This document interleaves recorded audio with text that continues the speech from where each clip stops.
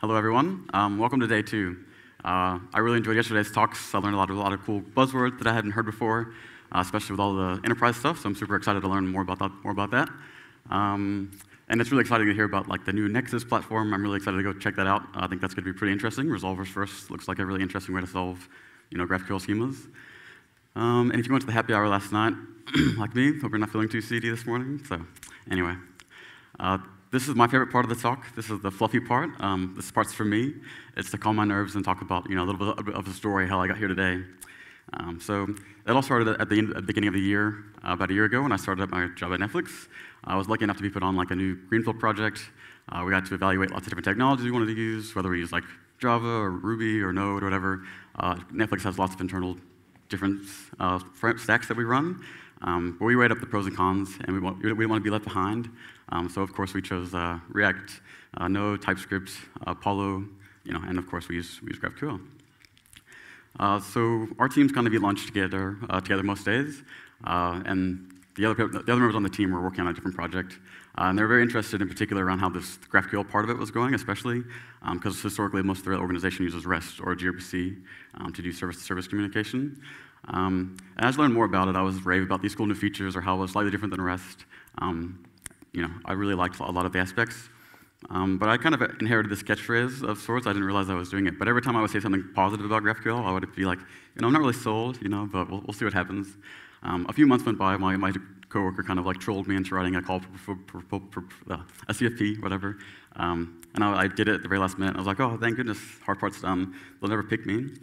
Um, so they did. And then I bought every GraphQL book I could find, as you do. And then now I'm here speaking to all of you. So awesome.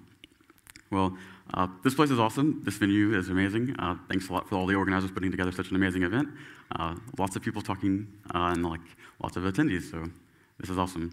Um, so yeah, I'm here to talk about a fancy graph. Maybe you've heard about it. Um, well, I hope so. Uh, but I really want to like shed some light into the power that I think GraphQL really brings. Uh, and if nothing else, hopefully you can bring some talking points back to some skeptics you might have in your, in your own teams, or maybe you're the, the skeptic yourself. Um, so the truth of it is, until recently, uh, I didn't really like GraphQL. I wasn't the biggest fan of it at all. Uh, I hadn't built any side projects with it. Uh, I hadn't used it in any production capacity. And I thought it was like this new front-end fad that was like come and go, as a lot of them often do. But once I started to dig into it, you know, like really look, dig into the depth of what I like thought about GraphQL, I enjoyed what I actually liked about it wasn't really much of the technical parts uh, at all. Um, I enjoyed what it really now allowed for an organization uh, and how it like, could help bring teams together and change how they kind of work together and it kind of eliminates a lot of problems people face, like day in and day out, and most organizations.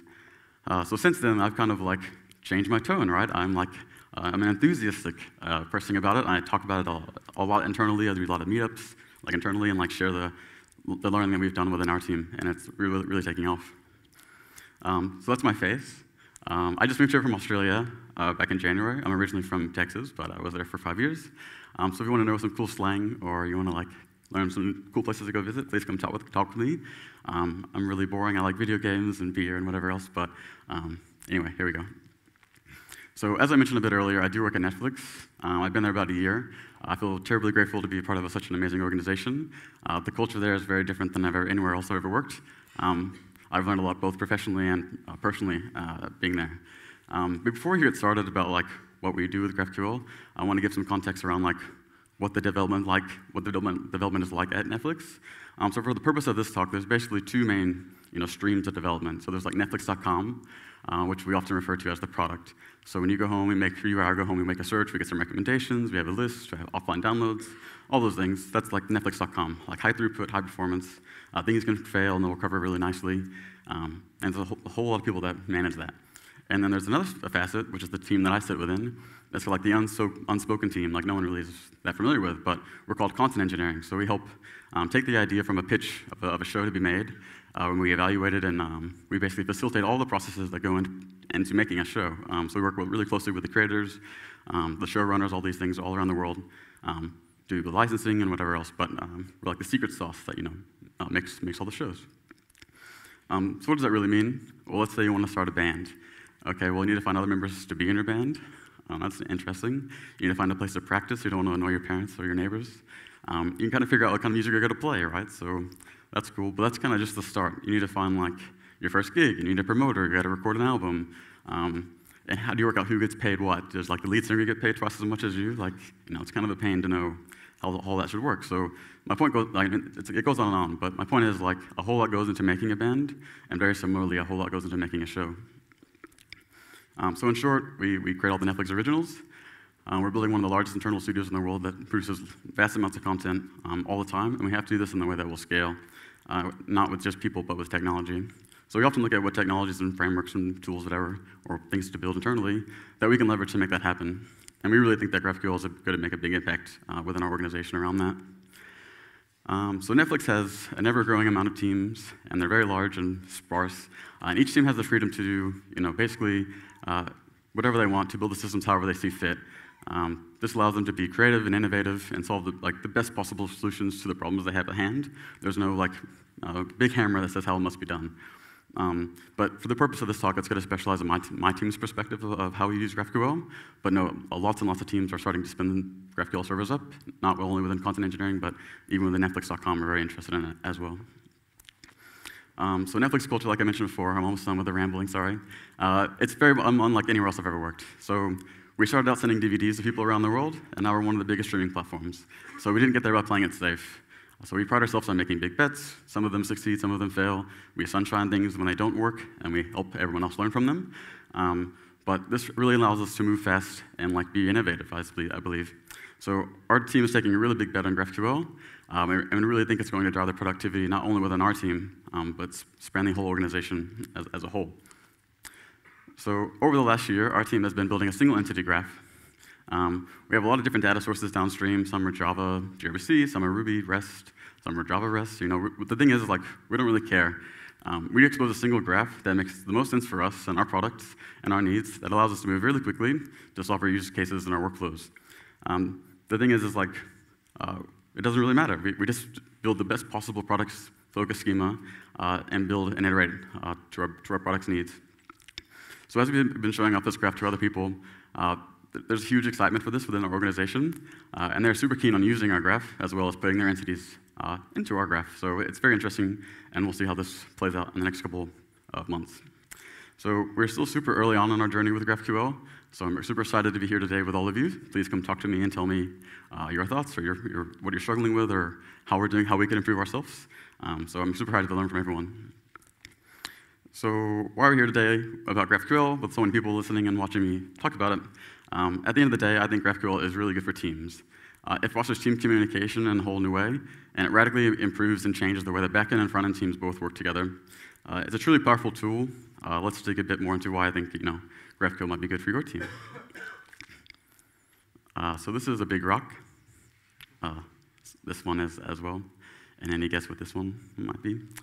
Uh, so yes, th these are all monoliths. And maybe to an unpopular opinion, I actually think monoliths are really great. Um, I mean, they do have their problems, sure.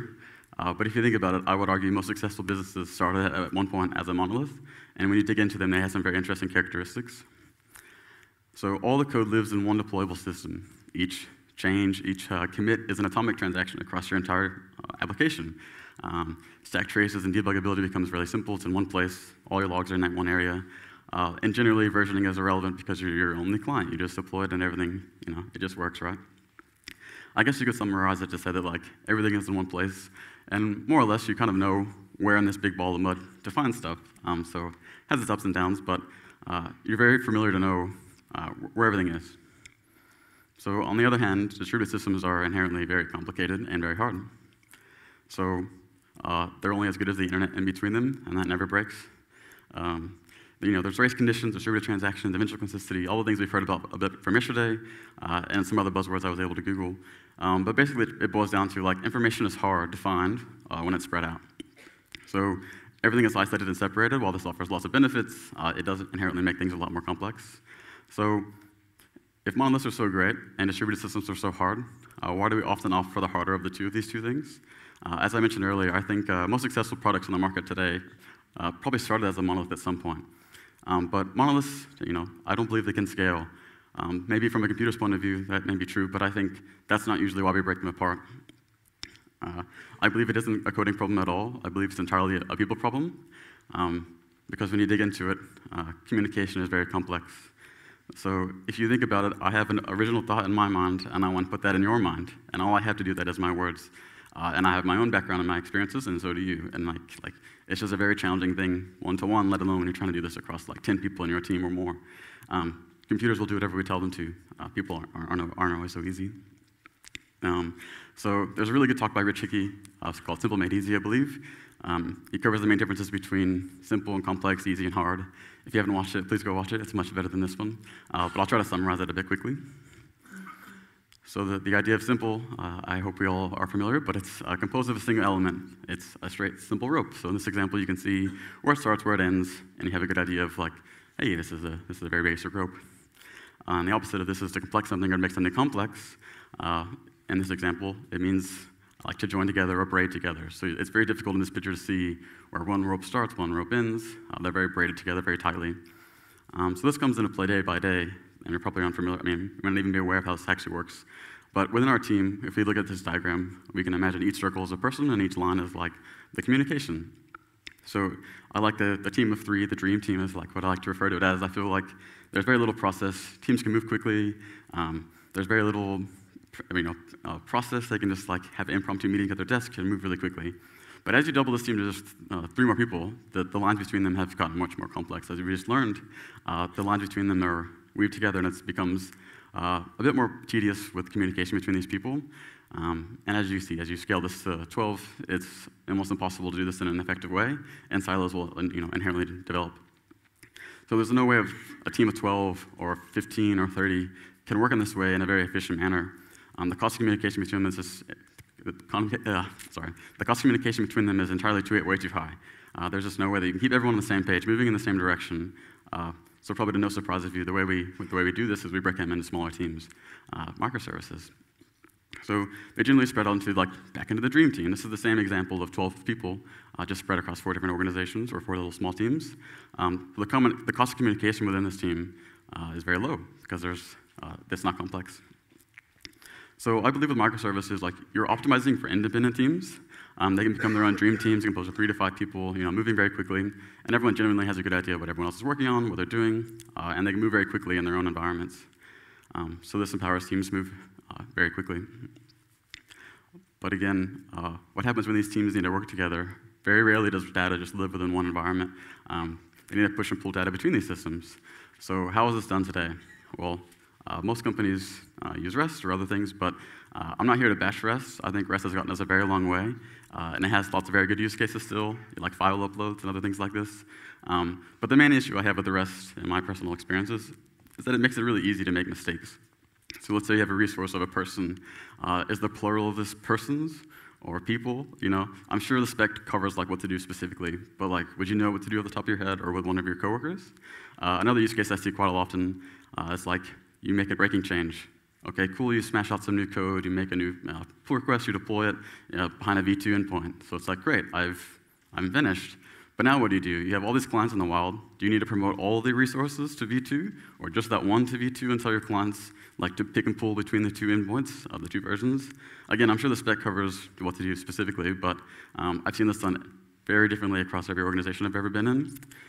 So each new client needs to know the intricacies of all the services they interact with, that dealing with authentication, authorization, um, you know, even which team can even add new fields.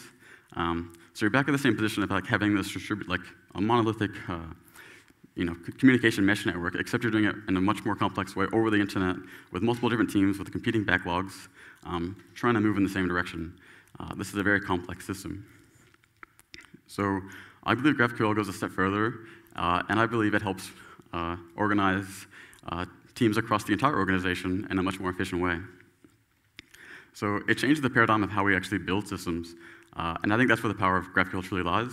Uh, instead of backends dictating, here's the data and the shape that you get, uh, they just ex instead express what is possible to access. Uh, the clients have the power to pick and pull the data as they need to solve specific workflows. the schema is the API contract between everyone, and it's a source of truth for your entire ecosystem. Uh, and it's an ever evolving agreement between everyone as well. Uh, so gone are the days of people throwing over the wall, code over the wall, and hoping for the best. I, I, instead, I think GraphQL promotes a much more uniform working experience where people are like uh, coming together to derive and build the schema in one uh, coexisting fashion. Uh, and it can help drive domain-specific uh, language between your entire product design and engineers. And I think there's lots of value in that. Um, so no more backends forcing clients, like, here's the REST point, figure it out. Or no more front end saying, like, uh, I need a specific shape to make my graphs uh, run really quickly. Uh, that backend people are like, no, we're not gonna do that. Um, so I think all these arguments are kind of just gone. I think you know, all teams uh, within, within the environment should be contributing and like uh, pushing uh, into the schema of what their needs are and like deriving like the best possible schema um, to fulfill all products needs. I think once you have a schema that reflects your proper domain, it's a superset of all possible use cases. Sure, you can add things as you go, but um, it's, the, the, consumer can choose what to do from it. So instead of exposing database tables over APIs like uh, we often do with REST, uh, I, I, believe you should build the schema with the product in mind, like I just mentioned. Um, if you think about the users and how they're going to use your system um, and what they're at, uh, the, the, north to south, as I learned from yesterday, um, it can really change instead of reflecting like what a, like how you build them internally versus like here's the columns and here's the attributes. You said express like here are the entities and here's the uh, behavior between them. Uh, it, it, can become like your public interface for your entire organization, uh, not just your database tables. Uh, so have you ever been in a meeting where uh, everyone has slightly different words to define the same thing? Um, and then you go back to your code editor and yet again translate it to something else to get it done. Uh, I, feel, I feel like that happens again very often. Um, but if you have this product focused schema in mind where you have your designers, your product managers, your engineers all like uh, talking the same language, I can help you derive like this ubiquitous language where you all mean and say the same thing um, to mean the same entities and the relationships between them or whatever. Um, you can do this without GraphQL, and I believe everyone should. I think if you can actually get on the same page with the terminology you, you all use day to day, you'll see lots of benefits. But I think GraphQL promotes that environment because you, you continually evolve and, and work in this, uh, in the schema development uh, system. Uh, so when you have this product-focused schema and everyone's aligned with the terminology, uh, things are inherently going to change. Um, so how do we do this with GraphQL? I'm sure we're mostly aware, but um, versioning becomes much less of a dance of like, oh, now we have V2, everyone's going to upgrade to V, you know, from one to one, one to the other. Um, instead, you just promote a new field, deprecate the old one with the, with the reason. Uh, there's actually, it's, it's, in the proper spec. There's lots of uh, uh, directives you can apply as well to like give more information to your clients, like what they should be using uh, and how long they have to upgrade and whatever else. Um, there's really good tools like Apollo Engine that go in a, bit, a bit further to let you know like which clients are still using old deprecated fields, so you can go and you know encourage them or enforce them to move up. Um, the thing is, is like it allows for a rolling forward cycle instead of uh, halt, break, uh, you know, uh, an orchestration of this complicated system. So one of the biggest fears I often find when people, uh, when it comes to GraphQL, is the fear that they have to change the whole world. Um, so the thing is, like, you've already built your entire castle and your infrastructure. Uh, just leverage it. You don't have to re re re redo, everything. Um, leverage all your tools that you already have. So what this means for a lot of your teams is really interesting because they can continue to do exactly what they do today um, without changing a whole lot. Um, front engineers can request that in a much more efficient way, and that's going to be amazing for them. But your backend, backend teams and downstream systems can continue to write a gRPC service uh, just as they do now. Uh, you have an old SOAP API that no one knows or a COBOL system that no one can write. Create, I mean, awesome, treat it as a black box and wrap those calls with an API gateway. Um, so your teams can continue to optimize and focus what they're really good at, and you don't really have to change the world. Um, so it's amazing. So you have these product-focused schemas. Um, you can change them. Everyone's meaning the same thing when they talk about it. Um, but what happens if you had a few of these entities that uh, you wanted to talk to, you know, talk to them together? Um, so you can actually merge and deploy these entities into, into, a small API gateway. And some teams have gone as far enough as automating this entirely. Um, that'll like take the request from the user and then proxy it to whatever downstream services that actually have this entity within it. Um, and there's also really good tooling by Apollo to do like this, this, this, uh, this for you. So for my, my one diagram for this entire presentation, uh, uh, I find the word stitching also very hard to say and spell, as I can see from my diagram. So I like schema folding, it's much better. But the idea of schema folding is like you can have these entity domains. In this example, you have like a users, a product, uh, payments, and reporting, whatever, and merge them together into a single API. Um, with this model, you can have your dream teams, your small little isolated entities, uh, work on their own domain to the best of their abilities. Uh, and the communication within those small teams is very isolated and uh, you know, very small and simple. Um, but you can leverage these tools to build a single API gateway and merge them together. Uh, so you can take a strongly typed schema, merge them together in an elegant way to build a single API. So if you can achieve this, you'll have a single API, a single graph, a single monolithic API, uh, that allows your teams to develop rapidly uh, with a common language that defines the interactions and the behavior between these entities in your domain. Um, so let's build our distributed monolith. Uh, let's build a single place to explore what's possible within our entire system. So if you can achieve this, uh, this will empower many teams to move very quickly because you'll have a single place that anyone in the organization can go to, look at the introspection, the schema explorer, and see what's possible, uh, no matter which table, which team uh, has worked on it. So I believe GraphQL promotes a new type of service, uh, like a higher order service, if you will. Uh, I, I, see it as a giant map function in the cloud. Um, so any number of clients can be built against this, as we've seen from many demos before, um, to build whatever workflow or UI they need. And the thing is, is like the server doesn't care what the workflow is, or they don't need a new bespoke API. They just explore the schema, get the data they need, and build their UI. Uh, so my team over the last year has been working on a single entity graph, as I mentioned a bit before. And having this uh, single entity has changed kind of how we see and explore this information. Uh, up until this point, it's been sparse across multiple different downstream services, and it's been very hard to like piecemeal this together to see like what the world actually is. Um, so it really changes how you see the information you have and, uh, and how you build features. So if you can visualize this information as one entire entity, uh, it really can change how you build things. Um, but the thing is, this is just kind of the start. Um, as, as, as, you've seen this new way of thinking around how you actually look at your, your data, not as in a database table, but in like these entities or product-focused schemas, um, we really think that the prize of GraphQL can be much bigger than this, uh, beyond just single entity uh, APIs here and there. Uh, I think if you can expand this to other teams and get them on board, it'll unlock a whole new world of how the entire organization can uh, build and deploy systems. Because as soon as you have one entity, uh, they inherently will lead to them all.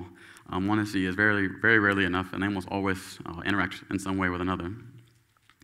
So, like I mentioned, as we've been showing off our entity and how, what it's done for us and how it's allowed us to move very quickly on the product's uh, UI side of things, uh, other teams also went on board, and they're already spinning up these new entities all over the place. It seems like every two or three weeks, people are like, hey, look at our new entity that we've made. We're like, oh, put that in our graph. Um, so it's very spreading. It's, it's really spreading, and everyone loves talking about like what the actual proper names of the field should be. And it's, it's really changed how we actually wanted to build our APIs as opposed to being like, well, we call it a title, you call it a movie, you call it an episode, figure it out. Uh, instead, people were like, oh, what is the actual meaning of what we're talking about? And I think, I think that's really powerful uh, for an organization. So over the next year, we're, we're going to be building this uh, multi-entity graph as a full-on project. Um, I think it's going to change, like I mentioned multiple times, uh, how we actually build systems. We don't have to care about which team owns which what uh, information, who can add which fields. Instead, we'll just say, here's the entity graph. Uh, we will build our apps to fulfill our users' needs. Um, so I'm super excited to see what might come out of this over the next year. Hopefully, we can build some tools that we can feed back into the open source uh, world.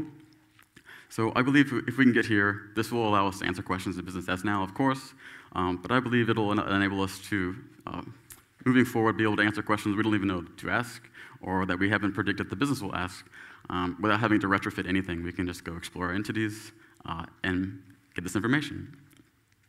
So my team in particular, we, we want to look at uh, can we take this a step further? So uh, what, if, what, if we could stop building applications uh, altogether? What would that mean? Uh, what would that even look like? So uh, a, small part of our team is uh, starting an innovation lab. Uh, we do a lot of internal hackathons, but our team has now a dedicated uh, sub-team within it that's going to work full-time on this um, to explore what these ideas might be. Uh, can we leverage this typed strongly API and generate potentially UIs based on the primitive library, just so like, oh, with these attributes, go. Okay, now you have a, a UI. So maybe our stakeholders could build their entire interfaces themselves without any devs involved in, at all. Um, what if you know we could build this tool that uh, not only our can use, but uh, multiple teams within our org could use as well? Um, so we're just started with this endeavor, but we're really excited to see uh, what might come out of this. So if you have crazy ideas on like what it could mean to like uh, build an app that our users could love, or change how we uh, make and stream content around the world, uh, please come speak with me. We always have jobs, and I would love to hear your thoughts. Um, but I'd like to leave you with one final thought. I think GraphQL is amazing, uh, not necessarily because of the technology or all the amazing tools like Apollo and uh, uh, all these other things that exist, uh, even though I think those are really good driving forces. Uh, I think GraphQL wins my heart uh, because it changes human behavior. it really does get teams starting to talk together on how we can work to evolve this, these schemas to, to best reflect our business domain. And it's a, a, living source of truth that's always evolving to the proper API taxonomy of what your, you know, your entire ecosystem actually is. Um, so it moves us back to the monolithic dream team. Uh, clients can have a single place to explore, fetch, and look at this data. Um, backend teams can continue to optimize uh, what they're best at, what they're good at. Um, so together we can do what we each do best while bringing everyone together. Uh, and with that, I would like to say thanks so much.